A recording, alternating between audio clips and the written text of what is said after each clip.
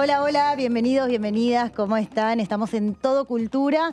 ¿Y de qué vamos a hablar hoy? Bueno, vamos a hablar de música, vamos a hablar también de escultura y de arte, de arte en general, porque tenemos distintas invitadas en piso la noche de hoy. Somos todas mujeres. Voy anticipando esto para que se preparen un programa lleno de artistas mujeres. Me enorgullece que el día de hoy sea así, así que también le agradezco a la producción por el esfuerzo que hizo y que hace también para todos los miércoles una producción increíble para que salga todo cultura en la pantalla de DTV. Les voy a contar de eh, una de las invitadas que ya está sentada, pero en breve vamos a estar conversando con ella. Es la escultora Lucía Pacenza.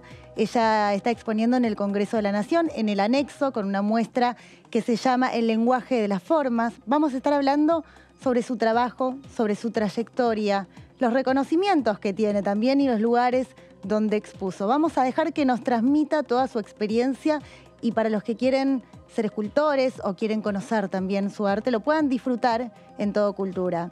Vamos a hablar también de otra muestra más, una muestra que se llama Efímeras, es una muestra que se trata sobre bordados sobre fotografías.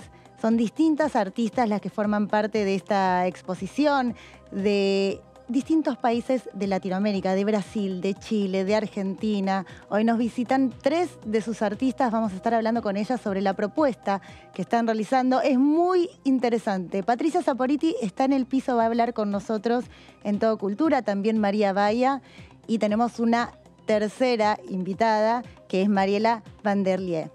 Con ellas vamos a estar hablando sobre Efímeras. Es una muestra que promueve la Dirección General de Cultura y Museos de la Cámara de Diputados de la Nación, pero también Vamos a hablar además de arte, de música, porque nos visita Carolina Ovejero. Ella es música, es etnomusicóloga también y museóloga. Vamos a estar conversando sobre esta profesión, de qué se trata, cuál es la investigación que desarrolla y también del concierto que realizó para la Biblioteca del Congreso de la Nación que se llamó Diálogos Musicales. Pero también les quiero contar una curiosidad el día de hoy. Una curiosidad del Congreso. Ustedes saben que en este espacio tenemos muchos lugares y muchos rincones culturales y más que rincones, edificios también, porque contamos por un lado con este canal de televisión, con Diputados TV, contamos con eh, la imprenta del Congreso de la Nación, está el Palacio Legislativo, el anexo de la Cámara de Diputados de la Nación, que es donde nos encontramos ahora, y también está la Biblioteca del Congreso. Y hoy en la curiosidad de la noche les vamos a hablar de qué se trata la biblioteca, cuándo se creó, sus orígenes, y vamos a conocerla.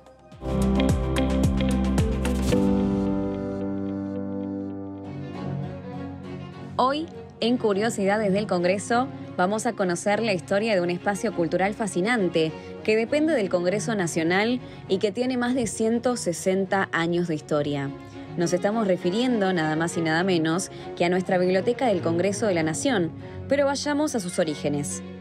Corría el año 1853 y en el país se estaban produciendo los primeros intentos de organización nacional, siendo el órgano máximo de gobierno la Asamblea Legislativa Nacional de la Confederación Argentina, con sede en la ciudad de Paraná, provincia de Entre Ríos. En ese marco, comenzó a circular con fuerza la idea de contar con un material bibliográfico permanente que ayudara a los senadores y diputados a evacuar dudas y consultas. En otras palabras, una biblioteca. Dicha idea logra materializarse unos años después, en 1859, bajo la presidencia confederal de Justo José de Urquiza, quien funda la primera biblioteca del Congreso con sede en la ciudad de Paraná. Esta sede no durará muchos años, ya que el traslado a la ciudad de Buenos Aires, junto con el resto de las dependencias administrativas de la incipiente nación, se realizará luego de la famosa batalla de Pavón en 1861, mientras que su funcionamiento en las adyacencias del actual Palacio del Congreso tendrá lugar el mismo año de la inauguración del mismo, en 1906, bajo la presidencia de José Figueroa Alcorta. Remarquemos que durante aquellos años el rol de la biblioteca tuvo que ver exclusivamente con la labor legislativa. Ahora bien, esta es una imagen que contrasta fuertemente con la impronta que tiene hoy en día la biblioteca, donde su apertura y fuertes vínculos con la comunidad son sin dudas su sello. En ese sentido, podemos decir que el primer paso en esa transformación se dio durante la presidencia de Hipólito Yrigoyen en 1917, cuando se convierte en una biblioteca pública abierta a la comunidad. Ya más cercanos en el tiempo, podemos mencionar importantes hitos en sus años de existencia, como la importante labor de asesoramiento bibliográfico a la Convención Nacional Constituyente durante la Reforma Constitucional de 1994 y durante la Reforma Constitucional de la Ciudad de Buenos Aires en 1996.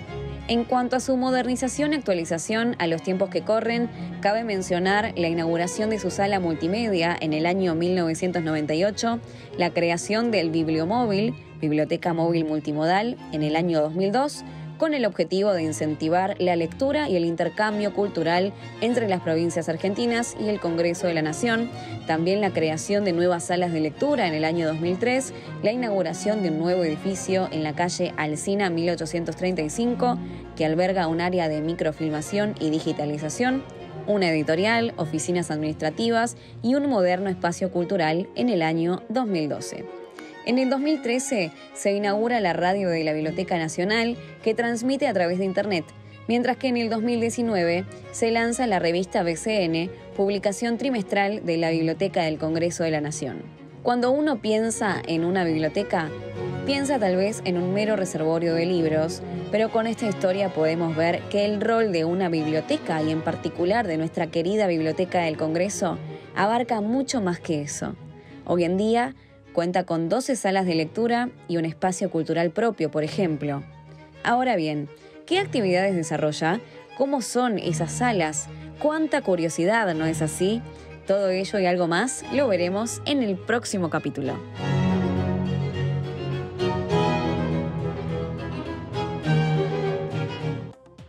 Bueno, y hoy le mostramos un rincón más del Congreso de la Nación, la Biblioteca del Congreso, que es eh, una entidad hermosa que tienen, porque además desarrollan un sinfín de actividades eh, culturales. Alejandro Santa está a cargo de la Biblioteca del Congreso, también el diputado nacional Carlos Selva es el presidente de la comisión que administra la biblioteca y bueno, juntos desarrollan actividades culturales que se pueden disfrutar de forma completamente gratuita que incluye. Esto se los voy a contar porque lo pueden aprovechar y se pueden anotar. Es de forma gratuita, tienen ciclos de cine, tienen muestras y exposiciones para recorrer, talleres, clases de teatro, de baile. Así que bueno, tienen que meterse en la página que es bcn.gov.ar y ahí van a encontrar toda la información eh, que desarrollan en la Biblioteca del Congreso de la Nación. Pero ahora nos vamos a ir a otro tema, un tema que está muy vinculado a la Dirección General de Cultura y Museos de la Cámara de Diputados de la Nación. Y en este momento detrás de cámara tenemos a equipo de justamente de museos de, de la Dirección General de Cultura que está presente porque vamos a entrevistar a una gran escultora, una escultora que tiene reconocimientos, reconocimientos del Fondo Nacional de las Artes, que ha expuesto en diferentes espacios. Está con nosotros Lucía Pacenza. Y bueno, primero buenas noches, Lucía. ¿Cómo estás? Hola, buenas noches. Bueno, qué lindo que es tenerte en el programa. Bueno, muy agradable para mí también. Y además, bueno, venís de exponer el lenguaje de las formas eh, en el Congreso de la Nación. Así es. Eh, quiero que primero hablemos un poco de esta exposición. De esta exposición. Totalmente. ¿Cuál es el eje de la muestra? Mira, el eje de, esta muestra es eh, un poquito un recorrido por mi, por mi obra, que se caracteriza mucho por eh, la escultura en mármol, por un lado. Y por el otro lado, mi, el fuerte de mi obra es eh, la escultura urbana. Sí pero en el transcurso de mi, de mi vida he hecho diferentes, este, he trabajado con diferentes materiales. Eh, veo que están mostrando... Estamos mostrando imágenes de, imágenes, tu exposición. Desde algunas que son este, anteriores, como las maderas, eh, y, estas que son de, de chapa, este, pintadas con, eh, con como los autos. Este, y están los bocetos de las obras, este, mm, ahí veo que tenemos los bocetos de las obras este, monumentales. Claro. Bueno, acá está el monumento a los 400 años de Buenos Aires, que está ubicado en Libertador y Udaondo. un lugar emblemático, porque Sentry es un lugar muy emblemático porque por donde circula muchísima, muchísima gente, muchísima gente, sobre todo los fines de semana, ¿no? todo el, todo el año, porque está cerca de la cancha de River. Por eso. y estaba frente al tiro federal. Claro, está ubicado, claro, en un lugar eh, que es De- eh, está de ubicado- mucha circulación. de mucha circulación. De mucha circulación. Eh, Lucía, si querés, tenés un vasito de agua en la mesa. Bueno, está en la Eh, Avenida Libertador. En la Avenida O sea, Libertador. Yo te voy a preguntar también, bueno, sobre la muestra. Recién estabas contando que eh, estás exponiendo eh, con esculturas en mármol, pero que también trabajás con otro tipo de, de materiales. Claro. Y ahí te quería preguntar eh, qué eh, diferentes dificultades tiene trabajar cada material. Me imagino que debe ser muy distinto trabajar la madera o el metal que trabajar el mármol. Y todo es distinto. Mira, el metal para Sí. mí es lo más fácil porque hago bocetos Sí, en arcilla o en yeso y se los doy a un pasador, a un herrero, que es el técnico que los, los lleva a las escalas. y ahí te vemos trabajando en Bueno. acción. Eso es que estoy trabajando mármol. sí, Bueno, el mármol es el más difícil de trabajar. Es más difícil que la madera. Eh, la madera, trabajar la madera es como un prolegómeno de cómo se, se puede tallar el mármol. sí. En realidad, este, son dos formas distintas, porque vos con el mármol o la madera tenés el bloque y vas de, de afuera para adentro, Sí, vas sacando material. En cambio, en, en las Claro, obras que son ahora... ¿no? Vas como tallando, No, diciéndolo, no como hablando tallando, mal y pronto. Tallando, vas, Sí. vas este, eh, sí, sacando el material. Claro. Eh, por ejemplo, esto es eh, otra forma de trabajo que es una, una escultura hecha en bronce. Sí, ¿Y cómo se hace? Se hace un, en arcilla con una un alma de telgopor por el tamaño. Este es el, eh, el original del, del monumento al bandoneón. el monumento- ¿Qué o es? está, ahí estás, tall- ahí estás eh, Estoy trabajando el bandoneón. sobre ¿no? El, abasto. original. eh, es esto es telgopor, está recubierto con arcilla. Sí, entonces ahí se va se va tallando y se va dando la forma. sí. Este Y después viene el otro material. Y después ¿No? viene la fundición. Claro. A, e- a esto le hacen un molde en yeso. El molde en yeso se, se vacía en- con, con este bronce.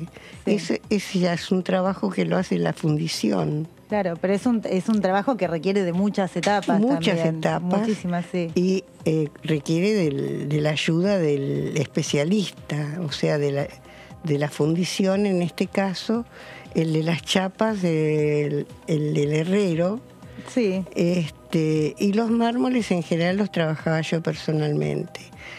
Los que son más grandes, que no han podido venir acá, que son pesadísimos, este, en algunos he tenido ayudante.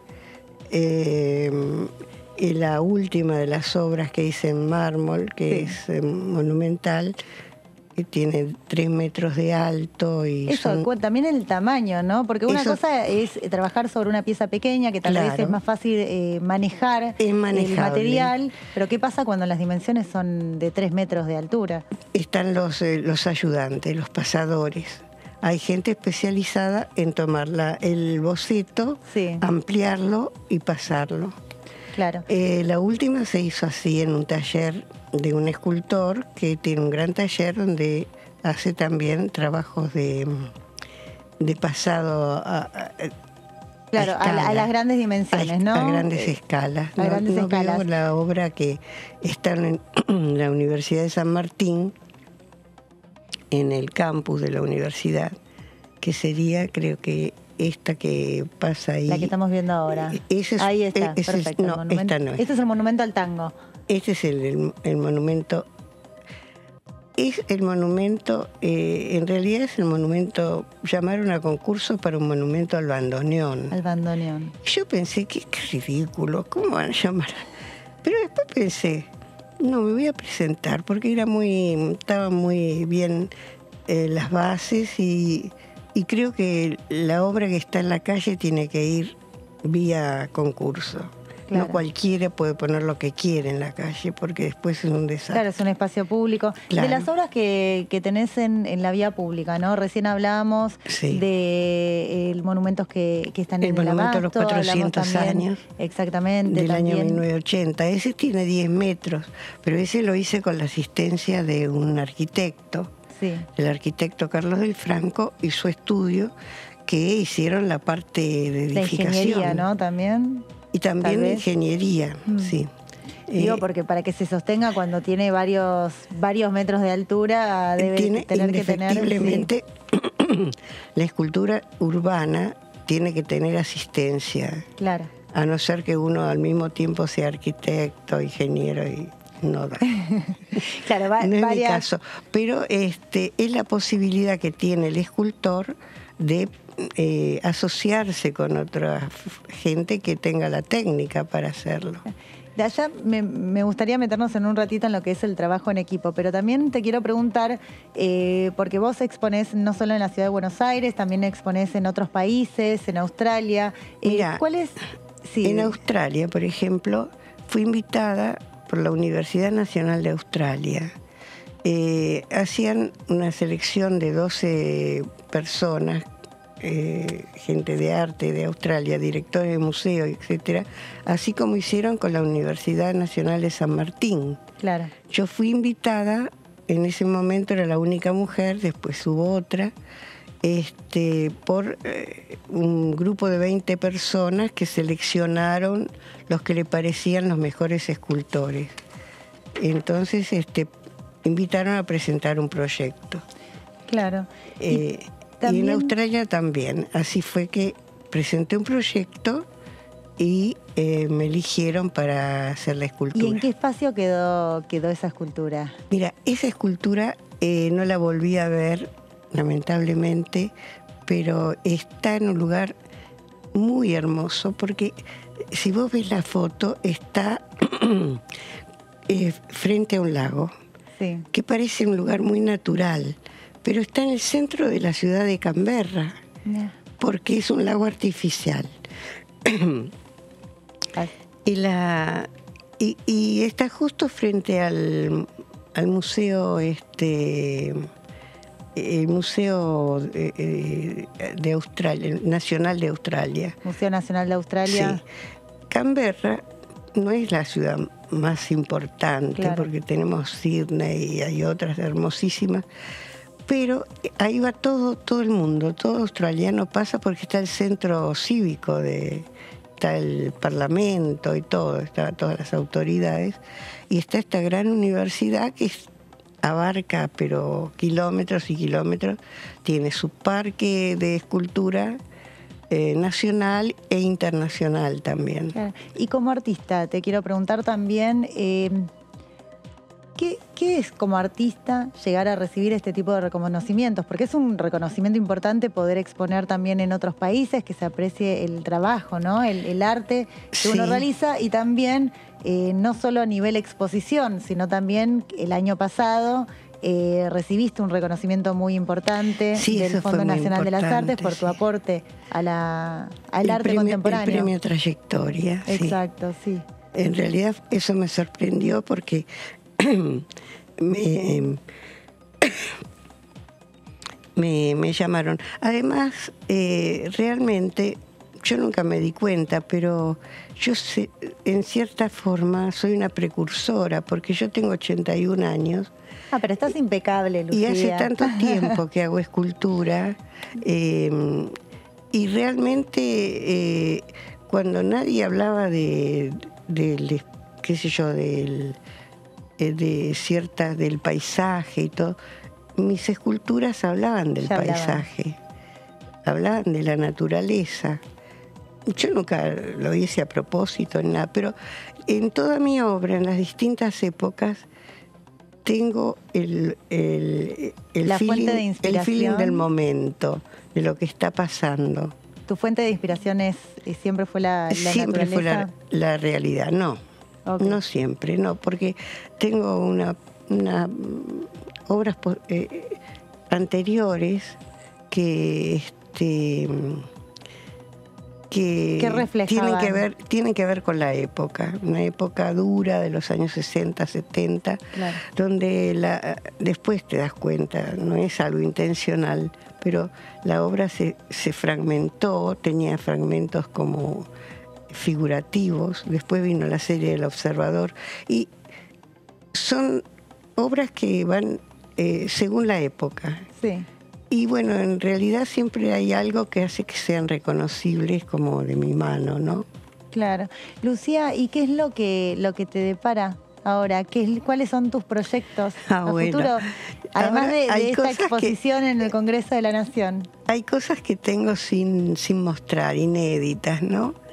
Eh, yo durante la pandemia, como todo el mundo, me quedé encerrada. Claro. Este, y y mi proyecto, es decir, dentro de lo que podía, eh, no podía salir a comprar material, no podíamos salir de las casas. No se podía salir, claro. Entonces, con lo que había en casa, empecé a, construir eh, con cajitas de remedios, eh, armarlas, llenarlas de yeso, después sacarle el yeso y formar este ¿Esta es la obra de arte que, realizaste con las cajitas de remedio? Sí.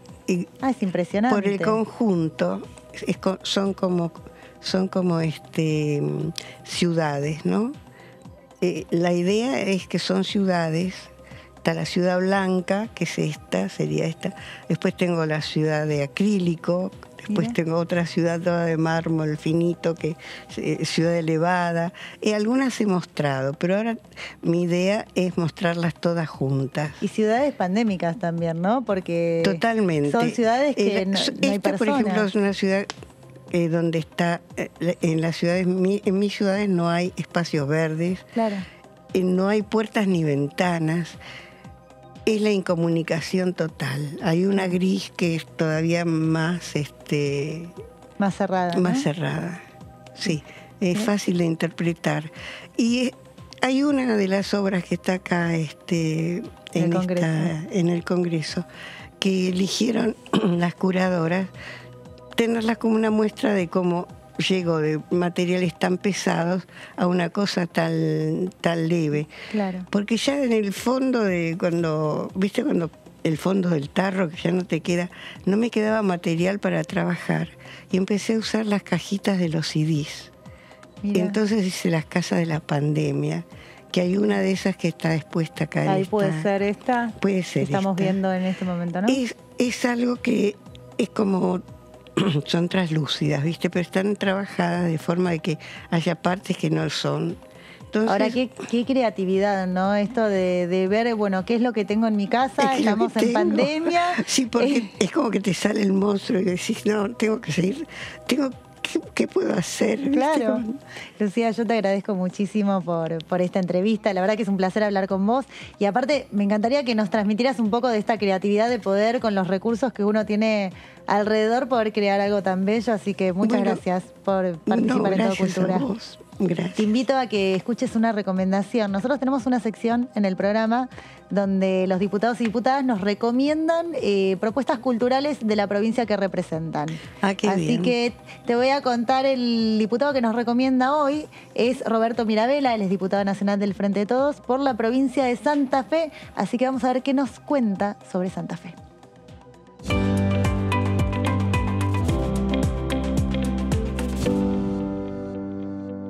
La provincia de Santa Fe es el motor productivo de la Argentina, pero también es el motor cultural de la Argentina y el motor deportivo de la Argentina.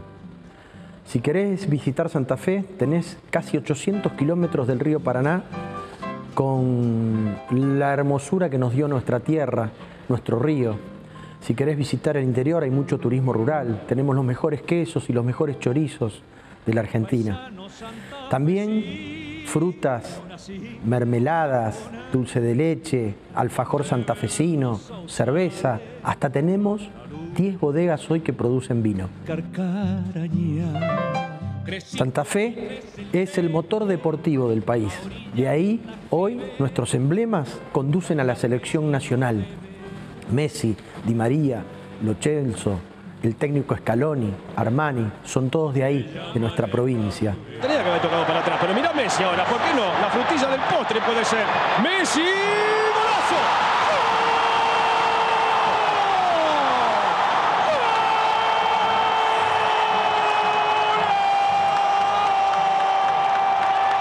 ¡Golazo de Argentina! ¡El mejor del mundo era la frutilla del postre! ¡Apareció la pulga, la clavó en el ángulo! ¡Parece explotar el estadio en mil pedazos! ¡Qué suerte que sos argentino! ¡Pulga querido! ¡Qué manera de disfrutarte! Queremos mucho a Santa Fe. Te recomiendo al escritor Juan José Saer, la novela La Grande, o el último que recibió el premio, Santiago Alasia, No es lo suficiente, una novela preciosa. Y si querés escuchar música, te recomiendo a la Trova Rosarina, a Baglietto, a Goldín, a Lalo de los Santos, Silvina Garré, a Bonicio, Fandermole.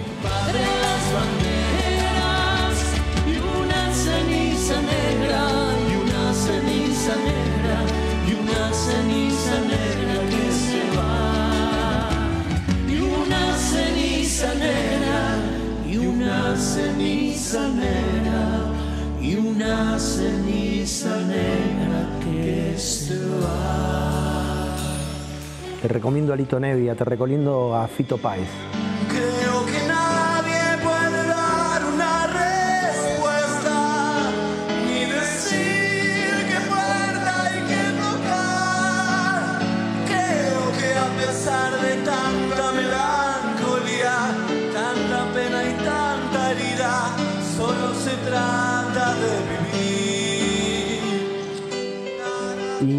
Si querés este, ir un día a ver deportes, está Newell's, está Central, está Unión, está Colón en Santa Fe, está Atlético de Rafaela.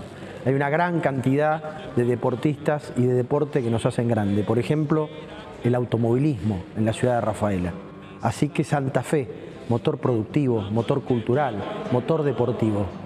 Visita, visita la provincia de Santa Fe. porque soy de Santa Fe. Bueno, recién estábamos hablando con Lucía Pacenza, que está exponiendo en el Congreso de la Nación, y nos dejó, miren lo que es este libro de Lucía Pacenza. Lo editó en el año 2020. Este libro lo pueden conseguir en el Museo Nacional de Bellas Artes. Un libro que contiene la obra de Lucía Pacenza. Recién estuvimos conversando con ella. Y acá pueden conocer toda su trayectoria en el Museo Nacional de Bellas Artes. Lo pueden conseguir.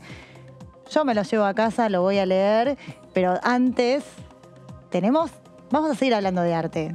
No, no, no, no vamos a cambiar de tema. Estamos muy metidos, metidísimos, ¿por qué? Porque hay varias muestras en el Congreso de la Nación. Hay una muestra bellísima, pero hermosa, que se llama Efímeras. Es una muestra que está expuesta en el anexo del Congreso de la Nación. Vos podés venir con tu documento en mano, te acercás a la avenida Rivadavia entre Riobamba y Callao y podés ingresar. Pasás a la recepción con documento, ya podés disfrutar de las propuestas culturales que hay. Esta muestra Efímeras es una muestra sobre bordado sobre fotografías. Son varias artistas las que integran esta exposición y tenemos a dos de sus protagonistas. Ahora sí que les voy a dar la bienvenida porque están con nosotros Patricia Zaporiti y también Mariela Van Lieder. ¿Lo pronuncié bien? ¿La Lierde. Está bien, está bien. Bueno, bienvenidas, buenas Gracias, noches. ¿Cómo gracias, están? Gracias, Bien, gracias. muy bien. Qué, lindo y qué bello que es lo que, lo que están exponiendo. Primero las quiero felicitar eh, y a los que se acerquen a verlo van a entender por qué lo digo. Eh, ¿cómo, ¿Cómo se crea este grupo de talentosos artistas que está exponiendo hoy en el Congreso de la Nación, en la Casa de las Leyes? Eh, esta muestra tiene origen en un taller que hicimos que propuso una artista brasileña que borda sobre fotografía, que es Aline Brandt, y gestiona sus talleres eh, una argentina que vive en San Pablo, que también es eh, bordadora textil, que es Sí. Julie Somántico. Y ella convocó a hacer este taller que se llamaba Experimentaciones y Observaciones, ¿no? Exacto. Y bueno, ahí empezamos en mayo del 2020, un grupo entre brasileñas eh, y argentinas. Esto plena pandemia. Pleno cierre. Vamos a decirlo, por en Chilenas. marzo, 20 de marzo, fue que Sí. se cerró todo. Eh, También que- chilenas. Eh, después se sumó Peti eh, Ahumada desde española Chile. también. Y tuvimos una chica española también que hacía el curso con nosotros. Y así se empezamos a, a generar nuestras fotos bordadas, que es la técnica de Aline. Sí. Fotos bordadas. Sí. Y a ver, yo quiero preguntar también cómo llegan a, a este arte de las fotos bordadas, porque es algo que por lo menos es la primera vez que yo lo veo, eh, gracias a, a las muestras que llevó a cabo la Dirección General de Cultura de la Cámara de. Diputados. Pero ¿cómo llegan? ¿Por qué? Porque yo sé, por ejemplo, Patricia, vos también sos abogada. Yo soy abogada. Eh, Sí. en, en tu caso, Mariela, ¿cómo No, llegás al, No, yo al bordado en fotografía? em, después de, de siempre estar ligada al arte, hice mucha escultura, eh, tallado de madera, un montón, pinté, hice las escuelas, varias escuelas y varias exposiciones, qué sé yo. Llegué al bordado un poco por casualidad, porque siempre me encantó bordar, pero nada, había quedado ya lejos en el tiempo. Alguna incursión con mis madres o mi abuela y todo eso, pero nada, y de golpe, eh, no sé cómo me cayó, vi una foto intervenida y me pareció tan interesante, porque también me gusta la fotografía. Bueno, cualquier artista es un buen fotógrafo, como digo yo porque tiene que tener el ojo. Así que, y después me, me pareció muy interesante intervenir la fotografía. Qué, li- qué lindo lo que, lo que contabas recién, ¿no? Que también descubriste esto. A ver, el bordado lo conocías tal vez eh, de eh, Forma por tu artesanal, abuela sí, o por tu mamá, pero me imagino la emotividad que te debe dar estar trabajando en un arte que también, eh, a ver, inconscientemente remite a una etapa de tu vida. Sí, por supuesto, por supuesto, no solo a, a mi etapa de mi vida, sino representa, yo creo que muchísimo del, del, del sentir eh, de la mujer y toda esa historia, y de la herencia y de las manos y de- del hacer. Y la verdad que sí, este, y me encantó la conjunción y re- re- resignificar las fotos y eh, no sé, me pareció mm, un mundo mm, nuevo y apasionante. La bueno, verdad ahora sí. estamos viendo algunas imágenes de la muestra Sí. de, de las distintas obras y bueno, Patricia, te quiero saber también eh, cómo llegás vos al bordado en fotografía. Al bordado en De las leyes al bordado en fotografía. Quiero conocer ese Yo en trayecto, por favor. eh, para mí el arte siempre fue un pendiente. Yo quise en algún momento, cuando estaba terminando el secundario, hacer la carrera de arte. Sí. Pero bueno, provengo de una familia de padres universitarios, profesionales, y querían que sus hijos fuéramos a la universidad, así que elegí la carrera de Derecho. Pero siempre pinté. Yo pinto desde muy chiquita. Que has expuesto en varios países también. eh, ya, pero- ya vamos a hablar de sí, eso. eh, pintaba, de chica pintaba, pinté hasta que nació mi hija. Ahí por un tema de salud de ella yo no podía pintar en casa, así que abandoné totalmente y cuando Sofi ya se puso grande y se empezó a independizar de mm, la necesidad de mamá y se fue de intercambio a Alemania, yo decidí que ese verano, que la extrañaba mucho, iba a arrancar con algo que había dejado cuando ella nació. Y así empecé a hacer eh, textil, a bordar, a tejer, a volver, como decía Mariela, mucho de lo que hemos aprendido en casa, porque yo tejía crochet con mi abuela, Claro. eh, aprendí a bordar con mis abuelas y con mi madre, con lo Es una cual tradición que se va pasando, se va ¿no? pasando de generación en generación, en- Es muy doméstico. Sí. Eh, por eso lo que decía Mariela, es muy de las mujeres, de lo que se enseñaba de chicas, de lo que te enseñaban en el colegio. Claro. Nosotros teníamos artes plásticas, artes prácticas, o no sé cómo se llamaban, que te enseñaban a bordar, a tejer. Y la verdad que como modo de expresión el textil a mí me llamó mucho la atención, me gusta mucho. Sí. Y eh, hace un tiempo atrás, con una amiga, nos fuimos a San Pablo a tomar un taller de fin de semana con Aline, porque me llamaba mucho el tema de la bordar sobre fotografías. Y bueno, con este curso que hicimos juntas, eh, empecé a bordar también fotos que sacaba yo. Eso iba a preguntar, Mm. ¿cómo era el proceso también de las fotografías? Si las fotografías las toman ustedes, si la fotografía es un, Algunas sí, disparador no. tal vez para, para y la al principio cuando incursionamos eran las fotografías que nos propiciaba Lynn, que nos daba temas y trataba de motivarnos y qué sé yo, fotos de ella, que también es una gran fotógrafa. Sí. Y después lo, inter- lo- lo lindo fue empezar a sacar nuestras propias fotos Claro. eh, y a empezar en nuestros procesos y todo eso. Y como artistas que, que trabajaron con diferentes técnicas, ¿no? Con diferentes eh, formatos, vamos a decir, eh, o géneros de- del arte, eh, ¿cómo pueden eh, distinguir lo que es el trabajar el bordado en foto con tal vez otro tipo de arte que hicieron anteriormente?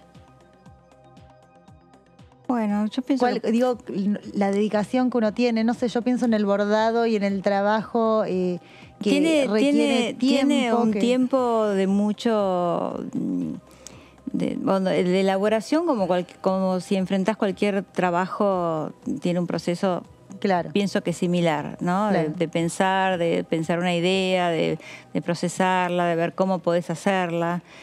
Eh, pero después en, en la ejecución y sí es lento muy lento Claro. Bueno, todo el bordado es lento. Por Sí. eso, lleva. Y más que nada en fotografía tiempo. también porque se te rompe si no la fotografía. Tienes que ir de un lado, dar la vuelta, ir del otro. Es como, este, En muchos casos tenés que agujerear. Claro. Si el ¿Qué- la técnica que utilizan entonces es el crochet, la técnica del no, bordado? no, no, no, No. Eso es crochet, es tejido. Esto es bordado con aguja. Yo estoy viendo, Patricia, no sé, capaz que no y le estoy pifiando, pero el collar que tenés. No, el eh, collar es ah, de una gran joyera que a- a- ambas dos Porque queremos veo mucho. que tiene también como un Sí, crochet. yo uso. Sí. Esto en realidad es un collar hecho por Gabriela Horvat, que es una gran joyera argentina. Es un collar textil, Claro. eh, igual que la pulsera, pero no. Esto es un coiling, no es otra técnica totalmente distinta. Mm. Bueno, pero estamos hablando también de las diferentes formas que tiene El textil. el arte textil, Sí. ¿no? Sí, por supuesto. Eh, en la joyería, también en lo que son las esculturas, en las obras. Hay Sí. escultura textil también, sí. sí, bueno, sí. yo, a ver, el tiempo en la tele, ustedes saben que es tirano, es Sí. súper veloz. Eh, nos vamos a ir un corte en breve. Dale. Sí. Y yo quiero agradecerles haber estado acá en el piso No, eh, y también felicitarlas de nuevo porque Bueno. es bellísima la muestra y es un arte que, que no conocía, el del bordado sobre fotografías. Así que muchísimas gracias. Gracias a vos. Muchísimas Gracias. gracias por la invitación. Bueno, y ustedes que están del otro lado, no se vayan porque vamos a ir un corte y enseguida volvemos, volvemos con música con Carolina Ovejero, así que los y las espero.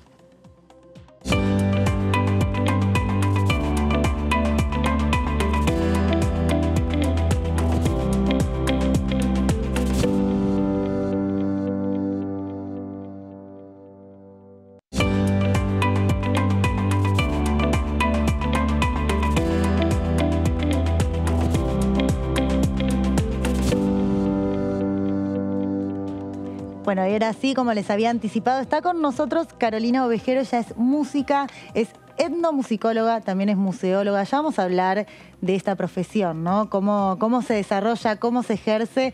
Eh, Carolina, primero, bueno, bienvenida, buenas Bueno, noches, ¿cómo muchas estás? Gracias, bien, muchas gracias por la invitación. Este, y sí, este, me siento muy, muy bien. No sé si como en vale. casa, pero muy bien. Bueno, es la idea, esta es una charla de living, la, la idea es que te sientas amena, es como café de por medio, bueno, agua hoy de por medio, eh, para hablar un poco sobre la actividad que se desarrolla también eh, con la biblioteca. Eh, de la Nación, de la Cámara de Diputados de la Nación, porque hicieron una actividad muy linda eh, donde participó un corocom, vos estuviste formando parte de esta actividad eh, con tu sí. profesión, que ahora me, me quiero meter primero en detalle a que nos cuentes cuando uno habla de etnomusicología, ¿no? ¿A qué nos estamos refiriendo? Además, bueno, me imagino que tiene que ver con la etnia, pero ¿cómo lo, lo vinculás con la música? Bueno, eh, la etnomusicología es una disciplina, es una carrera hermosa, en principio, eh, y es justamente eh, una disciplina que estudia, hace análisis e investigaciones musicales con respecto a las diversas prácticas musicales. Sí. La música no solo en sí misma, sino la música en todo su contexto sociocultural, ¿no? atravesada. La música en el hombre, este, la música en la cultura y la música como cultura también. Bien. Este, y de ahí se disparan miles de ramas para poder estudiar o entender las músicas y ese contexto, este, la función de la música en una sociedad, en una comunidad, este, a partir de estos estudios e investigaciones. Bueno, de hecho vos est- estás como coordinadora de, de esta carrera dentro del Conservatorio Manuel de Falla, Sí, ¿no? que bueno, sí. uno de los conservatorios musicales eh, más destacados que tenemos en el país. Este, y te quiero preguntar entonces eh, sobre el evento, la actividad que realizaron en la biblioteca, porque el título decía Diálogos musicales hacia el sendero intercultural, ¿no? Un Exacto. concierto en la Biblioteca del Congreso de la Nación. Eh, hubo un coro presente. Quiero que me cuentes un poco de qué se trató el evento. Bueno, el evento fue maravilloso, fue transformador, fue algo histórico para el Conservatorio Superior de Música Manuel de Falla, que recién mencionabas, este, uno de los más este, reconocidos. Claro. Este, y, y la verdad es que la carrera eh, comienza a funcionar en el conservatorio en el año 88. Por supuesto que fue, que fue dinamizándose, ¿no? Todo, todo el- los planes, la currícula. Evolucionando, claro, Evolucionando, claro. Y, y la verdad que para nosotras fue un aprendizaje, fue una vibra hermosa. Este, eh, poder haber tenido la oportunidad de recibir al coro, eh, a, la, a la Asociación Coral Polifónica de Resistencia Chaco, el coro Com Chilalapi. Em, lo recibimos toda la semana pasada. Este, de lunes lo recibimos y el viernes fue la despedida. O sea, nosotras como carrera de etnomusicología fuimos convocadas por el equipo directivo, este, que, la organización, digamos, estuvo, eh, fundamentalmente estuvo Teresa Curó, que es la vicedirectora del conservatorio, y ella muy amablemente, muy generosamente nos invita, nos convoca para eh, organizar un poco esta avenida. Claro. Este, así que bueno, fue algo, un sueño que empezó como a materializarse y la verdad que fue enorme haberlos recibido al coro y, y organizamos, fue un acuerdo entre instituciones, entre esta Asociación Polifónica Coral y el Conservatorio. Y, Y aparte, bueno, yo digo con un coro que, que tiene reconocimientos. eh, Es, es histórico, este año cumplían 60 años, así que 60 fue años. muy emocionante porque todos los encuentros fueron muy emotivos y el miércoles se realizó esa, esta muestra que, que mencionás, eh, se realizó acá en la Biblioteca del Congreso, así que también muy agradecidos de, como institución este, este encuentro intercultural, ¿no? Justamente un intercambio entre el coro de la biblioteca con el coro com. Este, así que bueno, fue como un recibimiento musical, ¿no? Se reciben con las músicas que se hacen en, en cada, en cada espacio este, y ellos también nos brindaron su sabiduría, sus saberes y sus músicas. Claro, vamos a Este, contarle también al, al televidente, ¿no? Que, que están del otro lado escuchando, porque coro intercultural también es un coro que lo que hace es mostrar eh, todos los, eh, a ver, la música que tenemos a lo largo y a lo ancho del país. Eh, la música que tenemos desde siempre, ¿no? Desde siempre, nuestros sí. orígenes. Exactamente. ¿cómo, se, ¿Cómo se estudia esto en, en la etnomusicología? ¿Cómo se Eh, aborda? ¿Cómo se aborda? Y bueno, todas, digamos, todas las materias, las cátedras que están este, disponibles en el plan de estudio. eh, Pero digo vos, vos como etnomusicóloga, Sí. ¿no? Eh, ¿cómo, ¿Cómo haces este acercamiento eh, hacia la música originaria? hacia, este, la verdad que es eh, como delicado, ¿no? No es, no, no, no es lo mismo acercarnos a una comunidad más este, citadina o urbana Sí. eh, que, que- que con las comunidades originarias, ¿no? Que tanto, eh, Pero que porque- tanta deuda sí. le debemos, que tanto este, eh, respeto nos inspiran, este, y, e históricamente fueron comunidades invisibilizadas, avasalladas, ahí está- hermosa, está Griselda, este, bueno, y, y todos- toda la compañía que vino. Eh, son hermosos, la verdad son hermosos y bueno, el acercamiento siempre es a partir del respeto de, Bien. por las diversidades, por sus músicas, por una apertura de a ver qué es lo que ellos tienen para, para enseñarnos, ¿no? Por lo menos ese es desde mi, desde mi, mi- desde mi mirada, ¿no? Mi punto de vista, eh, como que tenemos un montón para aprender. Claro. Este, desde una fibra, una sensibilidad que parece como que perdimos en el tiempo. Entonces ellos nos vuelven a conectar con, con esta cuestión de la naturaleza, del respeto, de, de los ancestros, de estas cuestiones simbólicas que no teníamos en cuenta o que tal vez no Claro. tenemos en cuenta en otras músicas este, y que otras músicas se abordan desde otras perspectivas o desde otras miradas. Pero aparte creo que también hay que considerarla como una música que no solo es un abordaje musical, ¿no? Es un Exacto. abordaje cultural. Y un Exacto. abordaje cultural que también promueve la igualdad, que promueve la tolerancia. Eh, como vos decías, ¿no? También hacer este recorrido hacia... Yo no voy a decir solo hacia los orígenes, porque también es una música súper actual y súper vigente. El tema es Exactamente. que eh, tiene que llegar también a, todos los puntos del país, ¿no? Eh, no solo eh, una música que tal vez eh, puede ser originaria o característica de Chaco, pero que puede llegar perfectamente, así digo, hablando, no sé, como el tango que se escucha acá, se, se escucha en otros países y nos representa en otros países a nivel internacional también.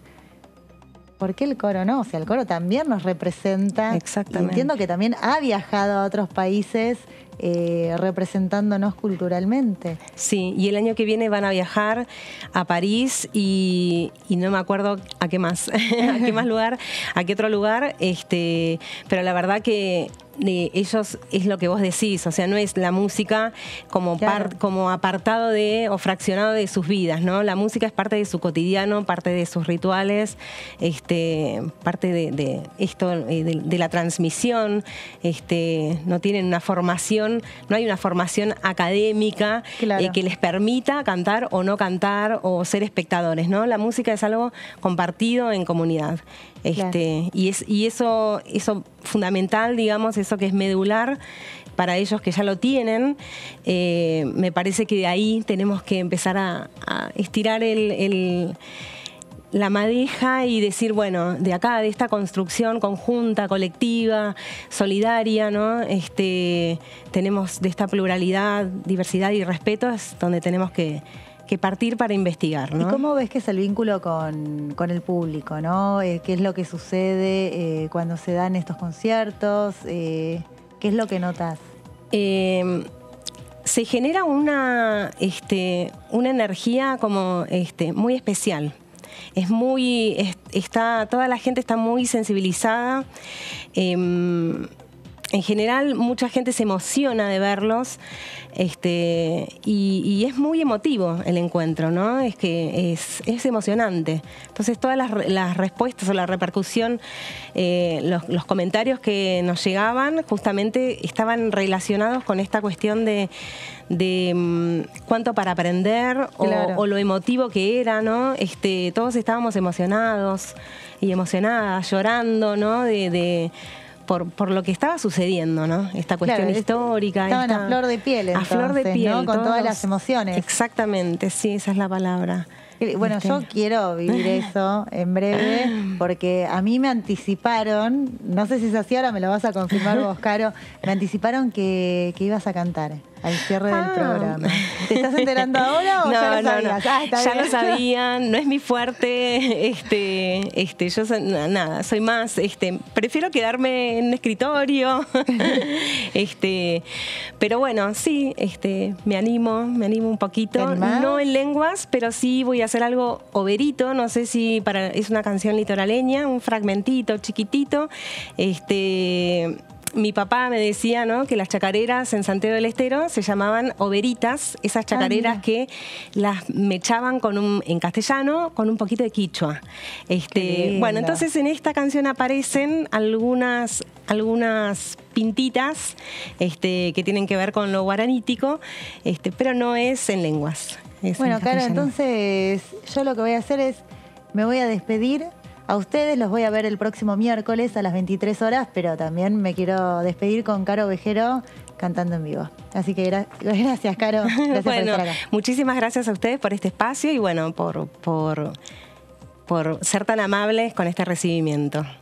Y ahora te queremos escuchar, queremos conocer lo, lo que nos vas a interpretar. Bueno, eh, se llama Recuerdos de Ipacaraí, eh, una canción muy conocida Sí. eh, y bueno, me tomo el atrevimiento de, de cantar un, un fragmentito. Una noche tibia nos conocimos junto al agua azul de Ipacaraí.